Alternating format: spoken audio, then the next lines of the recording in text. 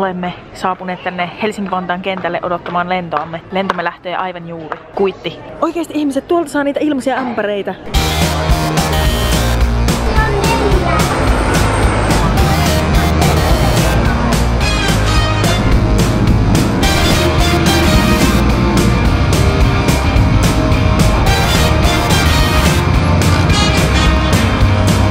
Onkohan täällä kaloja? Herra Jumala! Siis tällaista vettä ei saa edes meidän suihkusta Kuopiossa. Tässä alkaa olla jo aika syvää.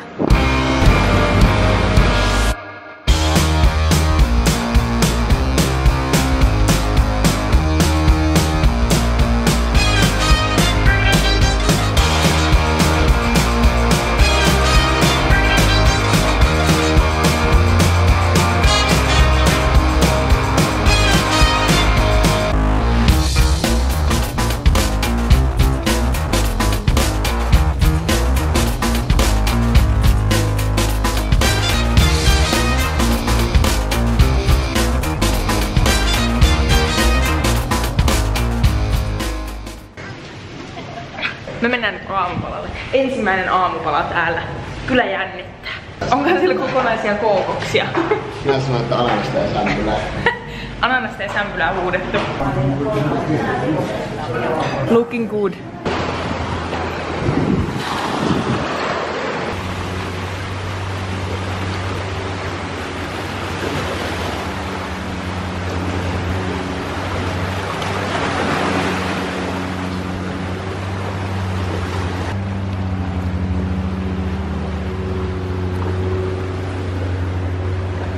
Jaatte isoja boa-käärmeitä.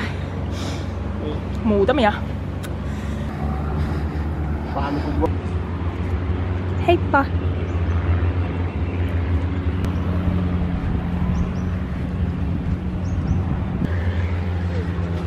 Heippa!